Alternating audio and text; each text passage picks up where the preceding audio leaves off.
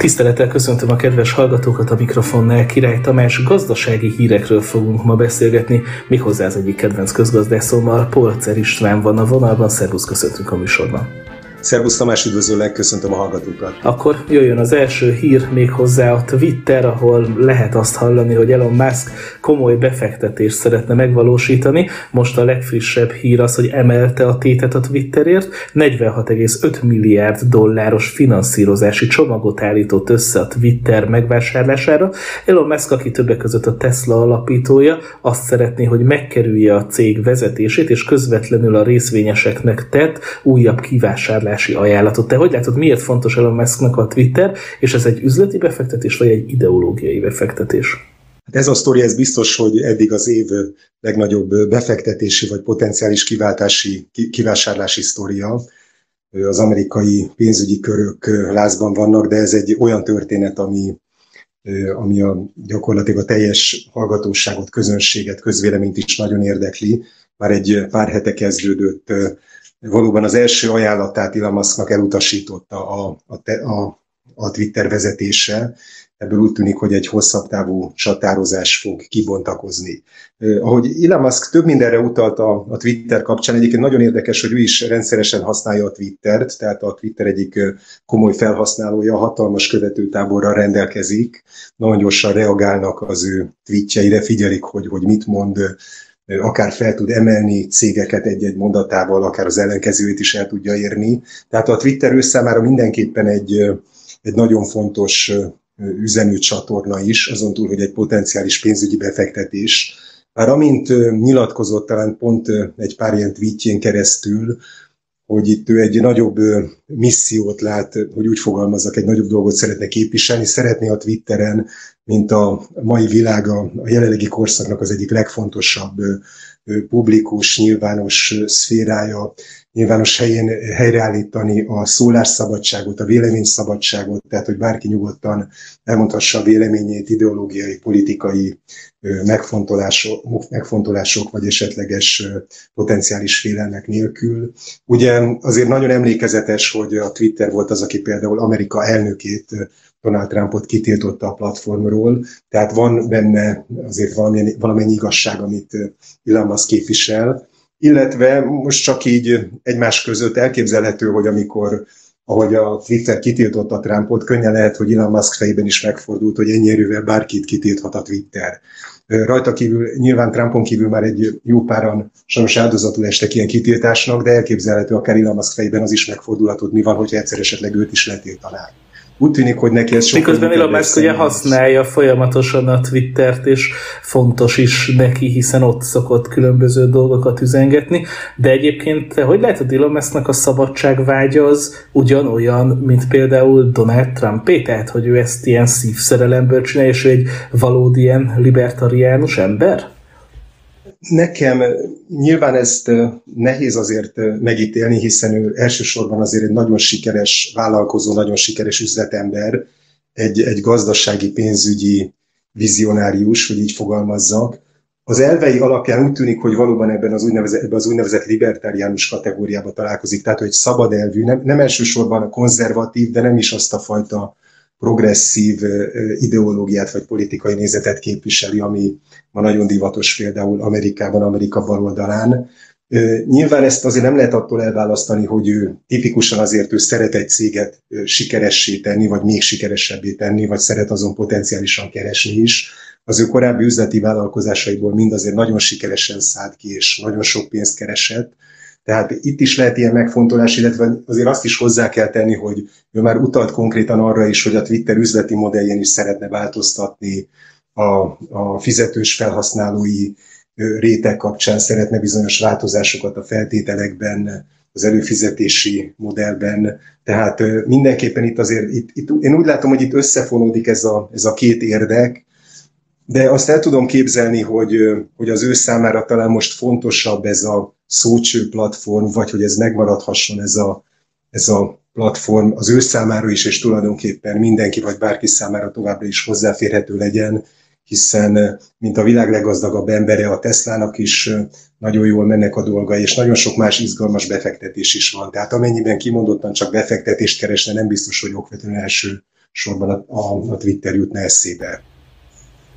Lehet ebből valami azzal, hogy egyrészt érdekelne, hogy hogy van ez, van olyan, hogy egy cégvezetés úgy dönt, hogy valakinek nem adja el a részvényeket, másrészt azzal, hogy a közvetlenül a részvényeseknek tett kivásárlási ajánlatot elképzelhetőnek tartod-e, hogy Elon Musk tényleg a Twitter többségi tulajdonosa lesz? Igen, hát történt egy, egy jó pár fordulat, ennek vannak bizonyos ilyen technikai, jogi következménye, illetve háttere is. Tehát valóban ugye a, a tőzsdén ugye lehet, lehet eladni, de nem okvetlenül kötelező eladni. Vannak bizonyos szabályok, tehát aki egy, egy tulajdonrész, egy tulajdoni hányadot már megszerez, akkor annak, hogy vajon szeretne további tulajdoni hányadot szerezni, az milyen feltételekkel történik, ezeket nyilvánosságra is kell hozni. Illamasznak jelenleg egy körülbelül 10%-os tulajdonrésze van, ami azért elég meghatározó, tehát ezzel a legnagyobb, illetve az egyik legnagyobb tulajdonosává vált, kiderült, hogy időközben van egy másik tulajdonos is körülbelül ekkora tulajdon résszel. Valóban ez a kivásárlási szándék ez nem volt szimpatikus a, a vezetőség számára, az igazgató tanács, illetve a Twitter vezetői számára. Ezt, ezt valami, valamennyire, sőt, akár egész hatékonyan lehet akadályozni, vannak erre módszerek, be is dobott ilyet az igazgató tanács, tehát hoztak olyan szabályokat, amivel mesterséges módon megnehezítik, hogyha valaki ki akarja vásárolni úgy a Twittert, illetve a, tulajdonosi többséget, hogy az, az ő számukra nem szimpatikus az, az ajánlat. Nyilván az ajánlat azért elég jó ajánlat volt, tehát mindenképpen egy komoly prémiumot tartalmaz, komoly nyerességet a, a Twitter jelenlegi árfolyamához képest, vagy az évelei árfolyamához képest, de úgy tűnik, hogy valamiért ez nem szimpatikus a, menedzsmentnek. Egyébként az is nyilvánvaló, hogy ha Elon Musk meg tudná vásárolni a Twittert, akkor vélhetően ez a jelenlegi vezetés ez, ez ki lesz rúgva. És valószínűleg a boardban is nagyon komoly változások lesznek, illetve amiről ő beszélt, akkor tulajdonképpen ő ki is vonná a tőzsdéről a céget, hiszen hogyha ő a tulajdonos, akkor már nincs értelme a tőzsdének, akkor ez magántulajdonba kerül vissza ez a, ez a cég. Itt mindenki... Egyébként mennyire tartod azt szerencsésnek, hogy közösségi média platformok alapvetően kint vannak a tőzsdén, mert ez egy ilyen nagyon kettős játéknak tűnik, hogy egyfelől gyakorlatilag bárki vehet részvényt, de másrészt meg bárkit cenzúrázhatnak, bárkit korlátozhatnak a jelen helyzetben. Igen, egyébként nem is okvetlenül csak az a kérdés, hogy kint vannak a tőzsdén, hiszen ha mondjuk ezek a ha mondjuk tisztán magántulajdonban vannak, és akár, bár, bár gyanítom, ez erre is utal ez a kérdés, tehát valóban ezek a platformok, ezek magántulajdonban vannak, egy, talán lehet úgy fogalmazni, hogy egy szabályozási joghézakban, vagy mindenképpen egy viszonylag laza szabályozási környezetben élnek, amit abban az időben, abban az időben keletkezett, amikor még jóval kisebb befolyása volt a közösségi médiának. Pont arról szólt, hogy minél könnyebben lehessen az, internet, az interneten fejleszkedni, minél több felhasználó megbarátkozzon az internettel. Időközben óriásit változott a világ, ezek a sikeres közösségi média platformok gyakorlatilag monopóliumokká váltak. Egyre nagyobb a nyomás a törvényhozókon is, hogy szabályozzák a, akár például az interakciót, tehát a, a, a közbeszédet, hogy mi az, ami mondható, mi az, ami nem, tehát hogy mert most jelenleg valóban az történik, hogy ezek a cégek kvázi önhatalmulag cenzúráznak, tehát öncenzúrát folytatnak, viszont ennek a, az elveit ezek, ezek ugyanúgy a cégek határozzák meg, elég gyakran ez nem teljesen világos, nem teljesen egyértelmű, úgy tűnik, hogy nem is teljesen konzisztensek, tehát hogy valakit bizonyos tweeteket, posztokat letiltanak, más esetben hasonlóan durva vagy még durvább posztokat, meg nyilvánulásokat engednek, tehát nem átlátható ugyanakkor iszonyú erős lobby erejük van, és azért nyilván a politika is próbálja őket használni, ők is próbálják a politikát használni, tehát itt sajnos van egy egyre bonyolultabb összefonódás, amit valamilyen módon jó lenne tisztába rakni. Csak ez időközben egy akkora problémává vált, hogy pont emiatt egyre nehezebb hozzányúlni is. De egyetértek veled, hogy, vagy hogy erre akartál utalni, mindenképp ez nem igazán szerencsés, ami jelenleg van a jogi szabályozás, a jogi keretek tekintetében. Illetve a másik nagyon érdekes, hogy az ideológia hogyan áramlik be a különböző vállalati rendszerekbe, és hogyan alakít át tulajdonképpen mindent, és akkor itt behoznék egy másik hírt, ami arról szól, hogy elveszítette a függetlenségét és az adókedvezményeit a floridai Disney World, uh, aminek a története szintén elég érdekes, talán a kedves hallgatók kedvéért foglaljuk össze, hogy mi is történt.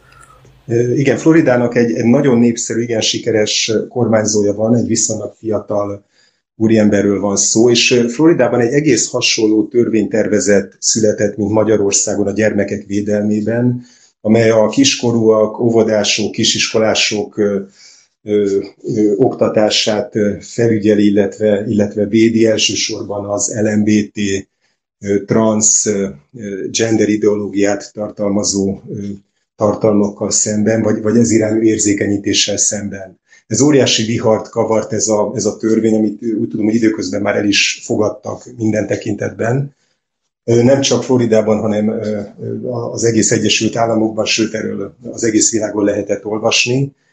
A Disney Floridának az egyik, az egyik legnagyobb vállalata, vagy a Floridában tevékenykedő vállalatok közül az egyik legnagyobb, talán a legtöbb embernek ad munkát Floridában, tehát mindenképpen óriási szerepe van. Először úgy tűnt, hogy ők nem akartak nagyon beleállni okvetlenül ebbe a témába, de egyre nagyobb volt rajtuk a nyomás, akár ilyen nagy nemzetközi NGO-któl, illetve a Disney belül is léteznek már ilyen ö, olyan szervezeti egységek, amelyek kimondottan az LMBT, gender teóriára fókuszálnak, az ehhez kapcsolódó jogokra, az ehhez kapcsolódó vizibilitásra, megjelenítésre, és aztán végül is a cég úgy tűnik, hogy engedett ennek a, a nyomásnak, és elég komolyan elítélte ezt a törvényt. Időközben kiszivárogtak olyan, feltét, olyan felvételek is belső biznis megbeszéléseknek, ilyen zoomos vagy egyéb videós platformon történt beszélgetések, tréningek, ahol több Disney vezető úgy nyilatkozott, hogy még több LMBT tartalmat, még több queer, még, még több trans tartalmat fognak fognak megjelentetni a gyerekeknek készülő, családoknak készülő műsorokban. Tehát itt egyre inkább kibontakozott, úgy tűnik egy elég komoly ideológiai harc is, csata is a Disney és Florida között, és aztán úgy tűnik, hogy ebbe DeSantis, Florida kormányzója beleállt ebbe, ebbe a csatába, és ő is húzott egy lapot. A Disneynek van egy speciális státusz, ami körülbelül 50 évvel ezelőttről, mivel olyan óriási fejlesztéseket hajtott végre Floridában, és ebben nyilván rengeteg magánpénz belement ugye a Disney részéről, ezért ott kaptak egy speciális önkormányzati, speciális adózási státuszt. Most ezt Florida, Florida vezetése visszavonta a Disney-től. A Disney árfolyama nem, a Disneynek a, úgy tűnik, hogy a befektetők nem nagyon örültek ennek a hírnek, a Disney árfolyam is elég sokat esett. Egyébként az utóbbi évben körülbelül az egyharmadát elvesztette a Disney a piaci értékének, így is nyilván az egyik legértékesebb cég ezen a, ezen a területen, kimondottan pontosan a családbarát, vagy legalábbis korábban nagyon családbarátnak tartott, családcentrikusnak, gyerekcentrikusnak tartott tartalmai miatt. Hát most, most úgy tűnik, hogy ez a politikai vihar, ezek a politikai ideológiák egyre inkább bekerülnek ezeknek a cégeknek az életébe, működésébe, vezetésébe is. Ez mennyire meglepő egyébként, mennyire szokatlan a korábbi vállalati kultúrákhoz, meg vállalati politikákhoz képest? Nyilvánvalóan valamilyen fajta, a, nyilván a vállalatok mindig szeretnék azért valamilyen módon a, az érdekeiket képviselni a politikában is, a tör, vagy a törvényi szabályozás, törvényi keretek, gazdasági területnek az irányítása, szabályozása az a számukra kedvező legyen. Ugyanakkor az korábban talán nem volt sőt, talán ki is lehet mondani, hogy korábban azért nem volt ennyire hangsúlyos, hogy politikai, értékrendbeli, ideológiai kérdésekben ilyen nyíltan állást foglaljanak. Ebben a, ebben a korban ez egyre, egyre inkább napirendre kerül. Tehát ezek a vállalatok úgy tűnik, hogy egyre inkább képviselnek egy ideológiát is. Ugyanakkor például a globalizmus, ami, ami tipikusan ezeknek a nagy nemzetközi vállalatoknak egy, egy kedvező környezet, a globalizmus önmagában nem csak egy politikai ideológia, vagy nem csak politikai vetülete van, hanem gazdasági vetülete is van, és értékrendbeli vetülete is vannak. És tipikusan ezek a nagy, különösen ezek a nagy multinacionális, globális vállalatok, ezek egyre inkább képviselnek nem csak gazdasági érdekeket, hanem a globalizációhoz kapcsolódó politikai érdekeket, vagy akár az ahhoz kapcsolódó értékrendet megváltoztatni kívánó érdekeket is és mivel egyre nagyobb, ezt el kell ismerni, hogy az utóbbi időben óriásit nőttek, pontosan a globalizációnak az eredményeként is, ezért egyre nagyobb az érdekérvényesítő szerepük és erejük. Mint említettem, Floridában a, Disney a legnagyobb munkaadó. Tehát óriási befolyásuk, hatalmuk van a politikára, és, és úgy tűnik, hogy ezzel szeretnének élni. Most Floridában úgy tűnik, hogy kemény ellenfélre találtak, de nyilván ennek a csatározásnak sincs még vége. De szerinted egyébként a Disneynek miért ennyire fontos ez a téma? Ugyanis itt a gazdasági megfontolásokat sem egészen értem, illetve azt sem értem, hogy egy alapvetően gyermekeknek készülő média szolgáltatónak miért pont az NMBTQ meg queer tartalmakat kell az ászlójára tűznie. Igen, hát ez egy nagyon bonyolult és nagyon érdekes kérdés, és nem is vagyok benne biztos, hogy teljesen egyértelmű és világos válaszok erre léteznek. Az biztos, hogy, a, hogy ebben a világban azért sokkal, sokkal inkább összefonódik a kultúra, a politika, az oktatás, a média, a tájékoztatás, és ugyanúgy a gazdaság, a pénzügyi terület, a vállalatok, vállalkozások működése, az utóbbi években azért, azért az amerikai kultúra, de a nyugat-európai kultúra is egyre inkább változás alatt van, akár az értékrend is, és ez óhatatlanul beszivárog a nagyvállalatokba is.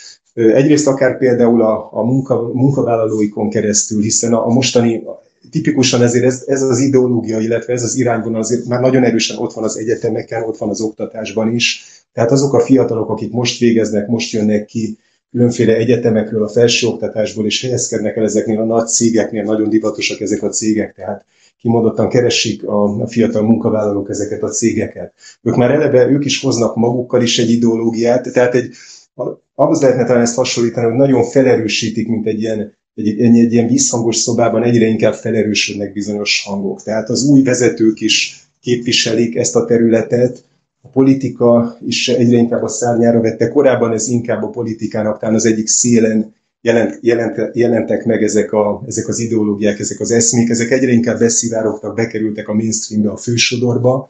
Ez nyilván visszahat a cégek működésére, és akik igyekeznek azért tipikusan a társadalmi fősodort képviselni. Egyébként a szórakoztatóipar az ugye tipikusan azért elé megy, ezeknek a folyamatoknak, akár Hollywood, a Disney is azért valamilyen módon ebben a szórakoztatóiparban van benne, úgy tűnik, hogy ők arra tették le a voksot, vagy azt gondolják, hogy ez az irányvonali a jövő. Az biztos, hogy a, a globalizáció, ez, a, ez, a, ez az értékrend és a globalizáció egyre inkább összefonódik, és ezek a globális cégek, amennyiben egy, egy globális kultúrát szeretnének kialakítani, vagy legalábbis egy globális kultúrtérben szeretnének mozogni, akkor számukra azért egy, egy ilyen globális kultúrtér az egy egyszerűbb területet jelent, mint hogyha minden országban van egy saját nemzeti kultúra, egy saját nemzeti speciális értékrend, sokkal egyszerűbb egy globális, egyformán gondolkodó, vagy hasonlóan gondolkodó, hasonló értékrendet valló fogyasztói kört kiszolgálni termékekkel. És akkor most beszéljünk olyan dolgokról, amik talán kicsit közelebb vannak hozzánk, meg amik talán más jellegű, de akár még nagyobb horderejű kihívásokat is jelentenek, méghozzá az orosz-ukrán háborúnak a gazdasági következményeiről. De hogy látod ezt a kérdést? Ugye mi a háború kitörése idején a kezdetekkor beszélgettünk, akkor még azért jóval kevesebbet tudtunk, most már lassan két hónapja zajlik az orosz-ukrán háború. Hogy látod most a gazdasági kérdéseket. Igen, hát valóban sajnos lassan két hónapja, amire sokan számítottak, hogy ez a háború gyorsan véget fog érni, sajnos ez nem így lett, elhúzódik, és most sem igazán látni a végét, és a gazdasági hatásai pedig sokkal megrengetőbbek, sokkal beláthatatlanabbak, mint azt, mint azt először gondolni, vagy, vagy sejteni lehetett volna.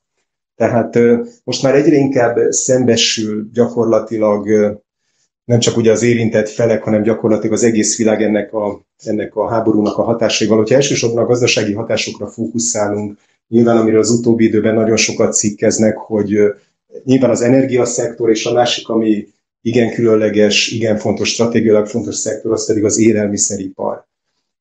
Úgy tűnik, hogy egyelőre ezek a szankciók, illetve a szankcióknak már a sokadik hulláma olyan szempontból nem, nem ért el a hatását, hogy nem sikerült Oroszországot eltántorítani ennek a háborúnak a folytatásától. Tehát, tehát úgy tűnik, hogy rövid távon a szankciókkal önmagában nem lehet ennek a háborúnak a végét kikényszeríteni. Most viszont már egyre inkább az van napirenden, hogy ezek a szankciók ugye Oroszországot kellene, hogy sújtják, sújtsák elsősorban, ahol körülbelül 140-150 millió ember él. Ehhez képest úgy tűnik, hogy a tovagyűrűző hatás akár ennek a tízszeresét, vagy a többszörösét, tehát akár másfél milliárd, két milliárd, vagy annál több embert is érinthet.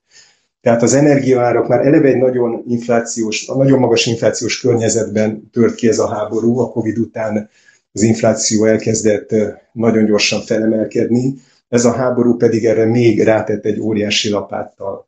Az energiaárak nagyon, nagyon volatilisek, nagyon bizonytalanok, nagyon, könnyű, nagyon könnyen elképzelhető, hogy magasan ragadnak. Egyszerűen az, hogy Európa, illetve Amerika is megpróbálja igen gyorsan kiváltani az orosz energiahordozóktól való függőséget, azért ami kialakult évtizedek alatt olyan, olyan ellátási láncok, olyan technológiai rendszerek, ellátási utak, azokat azért nem lehet egy pár hónap alatt felrúgni. Tehát úgy tűnik, hogy, hogy, hogy ezek a szankciók nagyon erősen visszaütnek Európára is, és az Egyesült Államokra is, bár az USA-ra jóval kevésbé, hiszen ők jóval kevésbé érintettek, jóval kevesebb orosz energiát hordozót használnak, tehát az ő esetükben valóban könnyebb az átállás. De Európa számára ez rövid távon szinte megoldhatatlan. A másik óriási probléma az pedig az élelmiszeripar. Ha már, ha már Amerika elnöke arról beszél, hogy hogy élelmiszerellátási gondok lehetnek, élelmiszerellátási problémák lehetnek. És ő itt már nem, nyilván nem Ukrajnáról és Oroszországról, hanem ugye az USA-ról és Európából beszél, azért az elég ijesztően hangzik. Tehát ezek az elszálló élelmiszerárak, ezek azért nagyon súlyos problémát jelentenek mindenhol. Nyilván a, a gazdagabb társadalmak, a társadalmaknak a gazdagabb rétegei számára ez nem jelent olyan komoly problémát, de de akár Európának vagy Amerikának is a szegényebb közösségei számára, akik azért nem tudtak olyan sokat félretenni. Most is azért nagyon sokan vannak, akár Magyarországon is, akik azért hónapról hónapra élnek, azért nem mindegy, hogy a fizetés ki fog tartani a hónap végéig, vagy 20-án, 25-én esetleg elfogy. És akkor nem beszéltünk nyilván a szegényebb régiókról, szegényebb országokról, például Észak-Afrikáról, afrikai térségekről. Ott igen könnyen elképzelhető, hogy ez komoly akár, akár konkrétan éhezés, akár milliók, tízmilliókat vagy százmilliókat is érinthet például az éhezés vagy az alultápláltság problémája, amely már jelenleg is egy akut probléma, és erre most ez egy nagyon rá fog sajnos úgy tűnik, hogy erősíteni ennek a háborúnak, illetve a szankcióknak a mellékhatásai. Szerinted lesz még ennél rosszabb egyébként a gazdasági helyzet, akár az inflációt, akár az energia árakat tekintve? Hát nagyon nehéz, most már én is nagyon óvatos vagyok az ilyen esetleges előrejelzésekkel, nagyon sok függ valóban a, a háborútól, hogy meddig, hogy a közvélemény is hogyan bírja, hogyan tudja feldolgozni, hogyan szembesül ezekkel az áttételes hatásokkal, akár, akár az inflációval, vagy az, az energiaárak, az élelmiszerárak problémájával, meddig támogatják érzelmileg valamilyen módon, hogy így fogalmazzak, bár ezt a háborút igazán senki nem támogatja, de nagyon, amennyiben ez a háború gyorsan véget ér, és sikerül valamilyen közösen mind a két fél számára elfogadható békét, minél tartósabb egyezményt megkötni, akkor, akkor, akkor ezek valamilyen szinten normalizálódhatnak, bár vélhetően arra a szintre nem fognak visszatérni okvetlenül gyorsan az energiaárak vagy az élelmiszeripari árak, élelmiszerárak. Amennyiben ez a háború elhúzódik, akkor gyakorlatilag szinte semmit nem lehet jelenleg kizárni. Nyilván azért a gazdaságban is van egy elég komoly alkalmazkodási erő, a politikusok is egyre inkább szembesülnek ennek a, ezzel a problémával, ez egyre égetőbbé válik, tehát amennyiben a háború elhúzódik, akkor nyilván azért az is várható a másik oldalon, hogy egyre inkább megpróbálnak a gazdaságok és a társadalmak is felkészülni ezekre a hosszú távú hatásokra, tehát egyre több olyan lépést tesznek, hogy biztosítsák az élelmiszerellátást, biztosítsák az energiaellátást.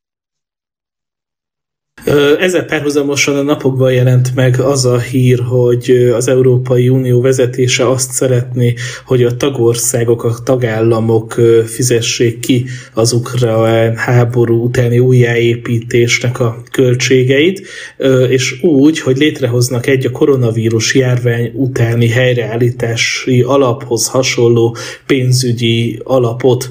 És itt felmerül a kérdés, hogy ez mennyire rengetheti meg a különböző országoknak a költségvetését, ez inkább egy szimbolikus dolog, vagy tényleg egy kopogtató veszély, ami alapján akár még jobban eladósodhatnak a tagállamok, és akár olyan terheket róhatnak rájuk, amelyekből aztán komolyabb gazdasági következmények lehetnek. Hát az, az, az biztos, még, még ugye nincs is vége, de már beláthatatlan, illetve az első kalkulációk is, amik eddig napvilágot láttak itt, azért óriási háborús károk vannak Ukrajnában, Nyilván, hogy ezt a végén ki, a helyreállításból ki hogyan fog kiszállni, itt azért vélhetően azért jó esetben Oroszország is elég keményen ehhez hozzá fog járulni, de, de Nyugat-Európán és Amerikán is óriási presszió van, óriási nyomás, hogy ebből, ebből azért ők is kivegyék a részüket ebből a humanitárius krízisből, illetve az azt követő újjáépítésből. Ennek azért, ennek azért óriási költségei lesznek. Az utóbbi 10-15 évben a 2008-as válságra, a Covid válságra mindig az volt a válasz, hogy valamilyen módon előre menekült, előre menekültek a társadalmak, tehát még több adósságból, még több pénznyomtatással próbáltak kikászálódni a válságokból. Jelenleg sajnos ez a háború is már egy viszonylag magas szintű eladósodottsággal, mert, mert egy olyan időben tört, tört ki, amikor mind az USA, mind Európa esetében egy viszonylag magas eladósodottságot látunk, történelmi historikus összehasonlításban is mindenképpen. Nem igazán látni, hogy, hogy ezek az adósság szintek csökkenni tudnának, és valóban már önmagában ezeknek a szankcióknak, a hatásoknak a kivédése, illetve a kompenzálása, ami ilyen gyorsan visszahat a nyugatra és begyűrűzött a nyugati inflációba, a nyugati lakosság vagyonvesztésébe, már ennek a kompenzáció is óriási pénzekbe fog vélhetően kerülni, plusz az ukrajnai újjáépítés az valóban szintén hatalmas terheket rakhat az európai lakosságra és az amerikai lakosságra egyaránt. Most nyilván a háborúnak van egy, egy nagyon erős pozitív érzelmi töltete is, tehát a lakosság, a nyugat lakossága most azért nagyon nagy mértékben Ukrajna pártján áll. Ugyanakkor a közvéleménykutatások azért arra utalnak, hogy amikor már arról van szó, hogy azért hajlandóak-e jóval többet fizetni az energiáért, hajlandóak ezért komoly pénzügyi áldozatokat is vállalni, ott azért már sokkal árnyaltabb a kép. Nyilván ezt a lakosságnak azért csak egy kisebb része, inkább a gazdagabb része engedheti meg, hogy komoly pénzügyi áldozatokat vállaljon egy olyan háborúért, amelynek ő azért direktben nem részese. Polcer István, köszönjük szépen, hogy itt voltál velünk. Köszönöm én is, szervusz!